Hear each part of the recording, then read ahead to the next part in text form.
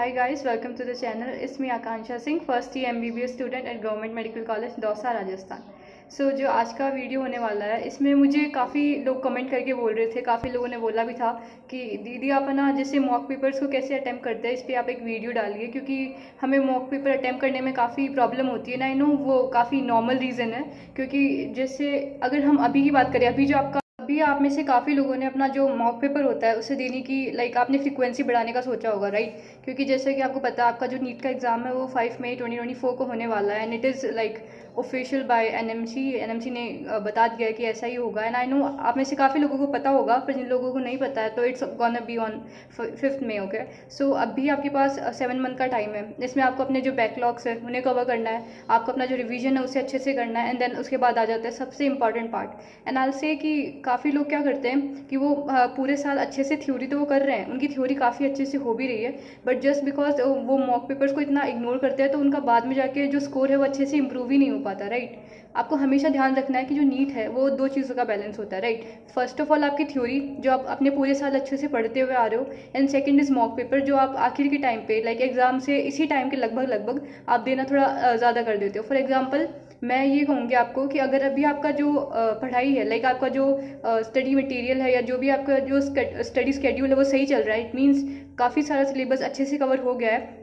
For example अगर आपका eighty percent syllabus अभी तक कवर है देन आप ना क्या कर सकते हो कि एक हफ़्ते में लाइक like, दो बार मॉक पेपर्स अटैम्प्ट कर सकते हो। दो बार इन द सेंस कि तीन दिन के एक गैप में एंड देन चार दिन के चार दिन या तीन दिन के गैप में आप दे सकते हो एज लाइक यू विश अगर आप संडे को ऑफ़ रखना चाहते हो भाई संडे को कोई मॉक पेपर या तो मोस्ट ऑफ़ द कोचिंग्स में वो संडे को मॉक पेपर रखता है तो then that is completely up to you but I say कि आप एक हफ़्ते में दो बार फिर मॉक पेपर अटैम्प्ट कर सकते हो।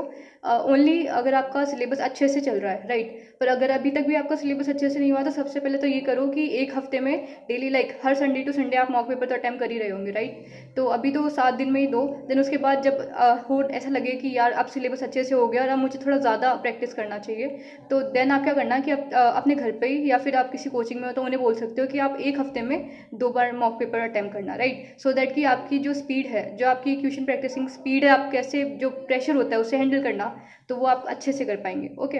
सो सबसे पहले बात करूँ मेरे जो मॉक पेपर अटैम्प्टिंग स्ट्रैटेजी होती थी तो मैं अपने जो एक्सपीरियंस जो मैंने जैसे अपना नीट का पेपर दिया था नीट के टाइम पे जैसे अटैम्प्ट किया था मैं वही आपके साथ शेयर करूँगी इस वीडियो में। बिकॉज़ uh, मुझे नहीं लगा था कि मेरा स्कोर अच्छा आ जाएगा बिकॉज़ आई वॉज़ थिंकिंग कि मैं कम्प्लीटली सेल्फ स्टडी पर हूँ मैंने किसी कोचिंग को भी ज्वाइन नहीं किया है। एंड जब मैं अपने जो एग्ज़ाम सेंटर पर गई थी तो वहाँ पर काफ़ी ज़्यादा लाइक स्टूडेंट थे तो उन्हें देख के मुझे लग नहीं रहा था कि यार क्या होगा पेपर में यू नो कि नीट पेपर कितना टफ आता है। एंड देन इतना ज़्यादा कॉम्पिटिशन बट देन जब मैंने अच्छे से पेपर को अटैम्प्ट किया, अच्छे से हर जैसे कि मुझे लगता था कि क्या सही अप्रोच होगा हर पेपर हर टॉपिक को करने का. लाइक फॉर एग्जांपल बायो को कैसे अटैम्प्ट करना है, उसका सही अप्रोच क्या हो गया? देन केमिस्ट्री के लिए एंड देन फिजिक्स के लिए. तो उसी की वजह से मेरा एक अच्छा स्कोर आया और आज मैं एक गवर्नमेंट एम स्टूडेंट हूँ. तो या आई कुड से दैट कि हाँ अगर आप एक सही अप्रोच से अपने मॉक पेपर को अटैम्प्ट करेंगे तो देन आपके मार्क्स में काफ़ी ज़्यादा इंप्रूवमेंट आपको देखने को मिलेगा। So let just start the video okay so first of all we gonna start with bio मैं क्या करती थी? देखो मेरा जो नॉर्मल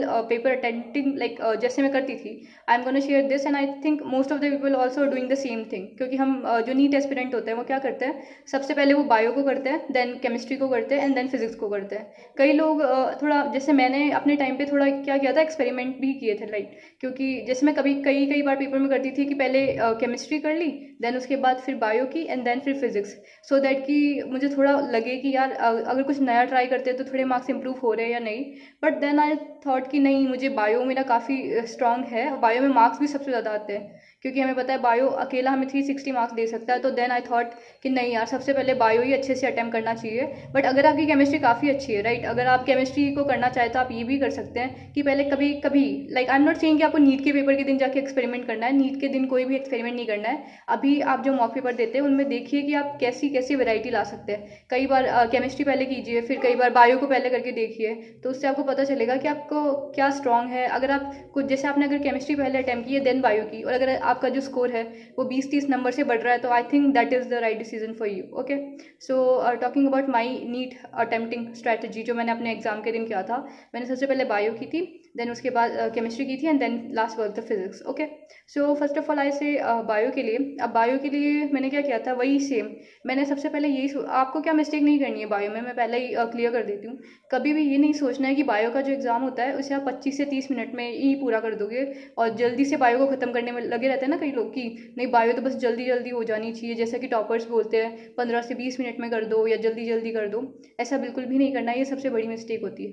पेपर में हमेशा आराम से करना चाहिए, कभी भी जल्दीबाजी अपने पेपर में नहीं करनी चाहिए। अगर आप धीरे धीरे हर क्वेश्चन को पढ़ के नहीं करोगे तो देन आपके मार्क्स इंप्रूव नहीं होंगे कभी भी एंड इवन दो आपके मार्क्स माइनस मार्किंग होती है नीट में तो हमें कभी भी क्वेश्चन तो बिल्कुल भी गलत नहीं करना चाहिए right so talking about like bio में कैसा क्वेश्चन uh, आते हैं जब मैंने नीट ट्वेंटी ट्वेंटी थ्री दिया था तो उसमें जो मोस्टली क्वेश्चन मैंने देखे थे दैट वाज लाइक कि सबसे पहले तो मैचिंग वाले क्वेश्चन काफ़ी दिखे थे मुझे मैचिंग वाले एंड देन उसके बाद अजर्शन रीजन वाले क्वेश्चन थे देन उसके बाद जो हमारे नॉर्मल क्वेश्चन होते हैं that is like four option वाले, जिसमें से एक कोई करेक्ट होता है that is also there then उसमें स्टेटमेंट वाले क्वेश्चन भी थे कुछ, कि जैसे आपको चार पाँच स्टेटमेंट दे दी एंड देन पूछा कि इनमें से करेक्ट कौन थे और लाइक इनकरेक्ट कौन सा है, ऐसा सीनेरियो तो सबसे पहले जो मैं ट्रिक बता रही हूँ आपको बायो में, जो कि मैंने खुद ने की थी. अब मुझे कई बार क्या होता था बायो में, कि ना ऐसा होता था कि दो क्वेश्चन में डाउट आ जाता था, कि ये चार ऑप्शन है, इनमें से दो सही लग रहे हैं, अब दोनों में से कौन सा होगा? तो सबसे पहले किसी भी क्वेश्चन को करने से पहले सबसे सही तरीका क्या होगा? क्वेश्चन पढ़ा अच्छे से। हमेशा ज़्यादा टाइम क्वेश्चन पढ़ने में लगाना चाहिए।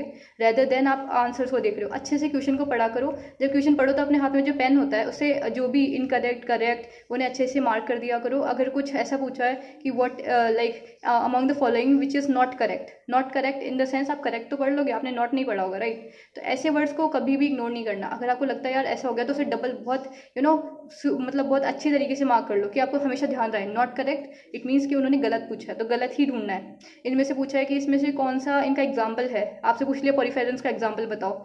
और अगर ऐसे पूछ लिया which is not not an example of poriferans तीनों तो पॉरीफेरेंस है। आपने क्या किया? पॉरीफेरेंस देखा, पहला ही टिक कर दिया। Then that's not gonna make a sense to okay तो ऐसा करना है, हमेशा क्वेश्चन को अच्छे से पढ़ना है। टिप नंबर वन, हमेशा क्वेश्चन को अच्छे से पढ़ो, क्वेश्चन पढ़ने में टाइम लगाओ एंड देन उसके बाद आंसर्स केयरफुली पढ़ो और देन आंसर को टिक करो राइट right? उसके बाद सेकेंड ऑफ़ ऑल हमेशा फ़र्स्ट जब आप पहली बार ना लाइक जो अपने हंड्रेड क्वेश्चन होते हैं बायो में अपने बेसिकली उनमें से नाइन्टी अटैम्प करने होते हैं तो जब आप उन्हें कर रहे हो तो ऐसा नहीं कि आपकी पहली बार में सारे क्वेश्चन हो जाएँगे, चाहे चाहे को आप, चाहे लाइक आपको बायो कितनी भी अच्छी आए इवन तो मैं खुद के बारे में बताऊँ तो मैंने जब पहली बार अटैम्प्ट किया था, फिर भी उसके बाद मेरे तीन चार क्वेश्चन मैंने सर्कल किए थे, जो मेरे से पहली बार में नहीं हुए राइट तो ये बिल्कुल नॉर्मल बात है। आपको पहली बार में कुछ भी मतलब ऐसा नहीं करना कि नब्बे के या सौ के सौ पूरे क्वेश्चन अटैम्प्ट करके आ जाओ। हमेशा देखो कि कौन सा क्वेश्चन मुझे परफेक्टली आता है, कौन सा क्वेश्चन नहीं आता, उसे मार्क कर लो। जब सारा पेपर हो जाए, उसके बाद दोबारा उन पर आओ और फिर उन्हें थोड़ा टाइम दे सॉल्व करो। हर एक क्वेश्चन आपके लिए इक्वली इंपॉर्टेंट है। आपको किसी भी क्वेश्चन जो फिजिक्स का क्वेश्चन आपको चार नंबर देगा वही बायो के क्वेश्चन देगा राइट तो आप ऐसा नहीं कि जब ना जस्ट बायो जल्दी जल्दी कर ली ताकि मैं फिजिक्स पे जा सकूँ। ऐसा करने से आप अपने मार्क्स को लॉस कर दोगे और देन आपका स्कोर कभी भी लाइक सही आ, सही इंप्रूव नहीं हो पाएगा राइट सो so, सबसे पहले ये ध्यान रखो कि अगर एक बार में वो फ़र्स्ट गो में अगर सारे क्वेश्चन सॉल्व नहीं हो रहे कोई बात नहीं जब सेकंड बार आओगे उन्हें सॉल्व करने तब उन्हें अच्छे से ध्यान लगा लगा के क्वेश्चन कर लेना ठीक? Then coming to tip number three would be अब एक ट्रिक uh, होती है देखो मैं तुम्हें बताती हूँ जो एम एग्ज़ाम होते हैं ना उसमें कैसे करना होता है? अगर आपको कोई क्वेश्चन नहीं भी आया ना तो आप पहले क्वेश्चन अच्छे से पढ़ो। उसके बाद उसमें से क्या गलत चीज़ें लग रही है कि ये तो कभी भी आंसर नहीं होता इसे बोलते हैं ruling out right you are just ruling out the wrong option तो मैंने ऐसे करके अपना पूरा एग्ज़ाम किया था। मैंने सबसे पहले देखा क्वेश्चन पढ़ा उसके बाद ऑप्शन पढ़ना चालू किया कि ये तो बिल्कुल नहीं होगा फ़र्स्ट वाला नहीं होगा सेकेंड वाला नहीं होगा थर्ड वाला हो सकता है फोर्थ वाला भी नहीं होगा देन थर्ड को टिक किया।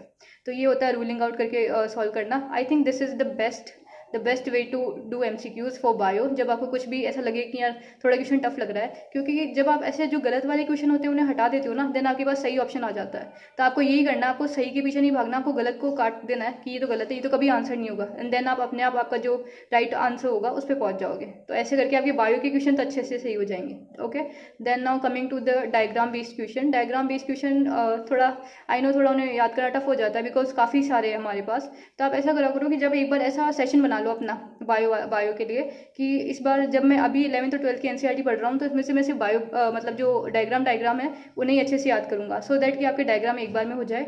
और डायग्राम में ऐसा नहीं, सिर्फ़ डायग्राम याद कर लिया। वो क्या करते कई बार डायग्राम की लेबलिंग ही गायब कर देते हैं। और देन आपसे तीन चार लेबलिंग एक साथ पूछ लेते हैं। तो इसलिए आपको डायग्राम अच्छे से करने हैं। डायग्राम किसी भी चैप्टर के नहीं छोड़ने। इवन दो ट्वेल्थ में काफ़ी सारे डायग्राम्स है, वो फ़र्स्ट सेकंड चैप्टर में वेजिटेटिव रिप्रोडक्शन वाले चैप्टर में तो उनको अच्छे से करके जाना है। Okay then now coming to assertion reason type question आते हैं, उनके लिए क्या करना? असर्शन रीजन आए तो सबसे पहले तो अच्छे से पढ़ो।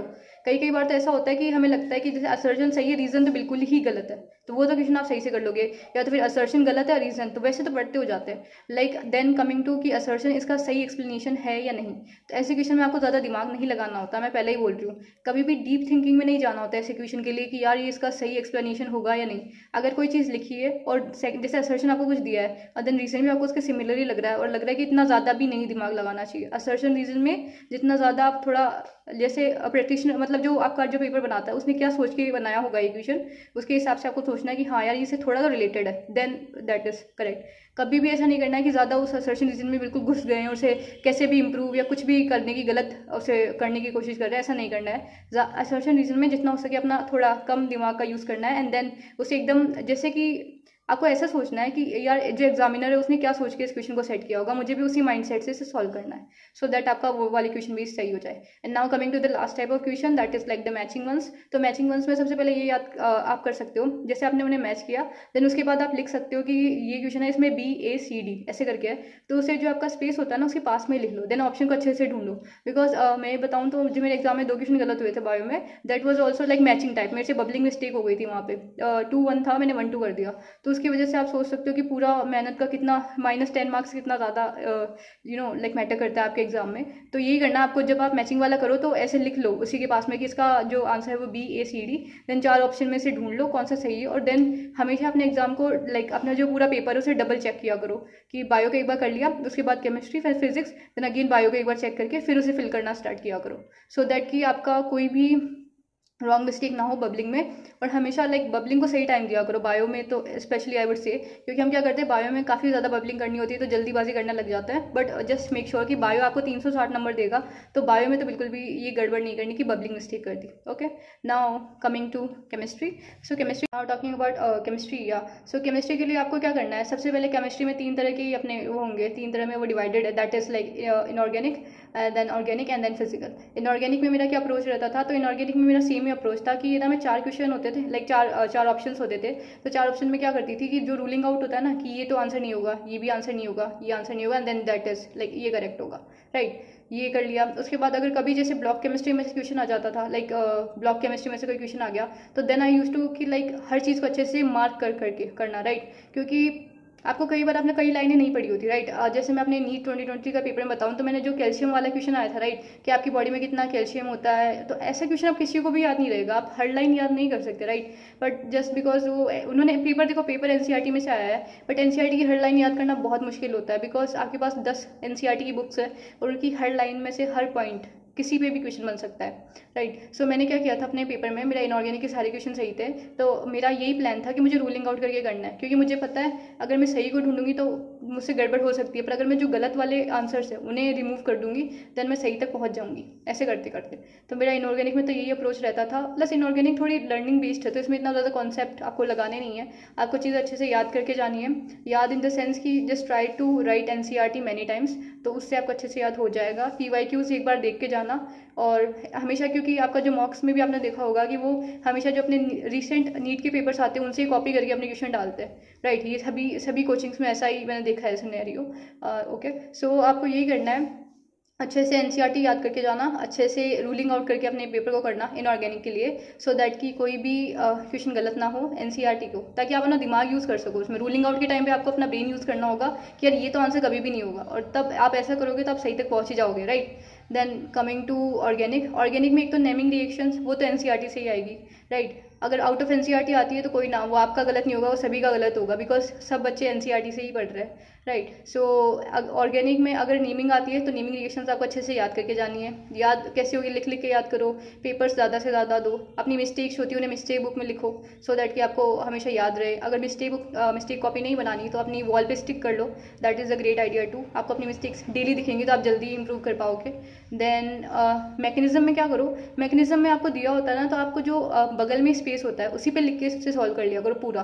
कि ये यहाँ पे आएगा सी एस टी यहाँ पे केटाइन बन रहा है। केटाइन पे आके कुछ ऐड uh, होगा and all these type of things तो ऐसे उसे वहीं लिख के सॉल्व किया करो देन अपने फाइनल प्रोडक्ट तक जब आप पहुँच जाओ देन उसे आंसर को टिक किया करो ओके एंड आई से कि आप जो एन सी आर टी उसके जो बैक एक्सरसाइज है उसके क्वेश्चन को सारे करके जाया करो इंटेक्स अच्छे से किया करो तो आपसे गड़बड़ नहीं होगी एंड देन उसके बाद जो भी मैकेनिज्म्स यूज़ हो रही है पी वाई क्यूज़ में उन्हें तो कभी भी छोड़ के नहीं जाना राइट क्योंकि वैसे ही उसी के बेसिस पे आपका मॉक आने वाला है। आपको हमेशा ध्यान रखना चाहिए कि मॉक्स हमेशा पी वाई क्यू से ओरिएंटेड या पी वाई क्यूज़ पे बेस ही बनता है। तो आपको वो भी हमेशा दिमाग में रखना चाहिए कि यार कोई पी वाई क्यू में कोई मैकेनिज्म आया है तो ये मेरा गलत नहीं होना चाहिए। इसे मैं अच्छे से याद करके जाऊँगा क्योंकि ऐसा ही क्वेश्चन मेरे मॉक पेपर या नीट में जो मेरे आगे पेपर होने वाला है उसमें आने वाला है। तो that is like important okay physical में तो ये ये सिंपल सा physical is more like physics आपको फॉर्मूला लिखना है आपको कॉन्सेप्ट लिखना है आपको अच्छे से डेफिनेशन याद करके जानी है कि इसमें से एन e में से डेफिनेशन याद करके जानी है।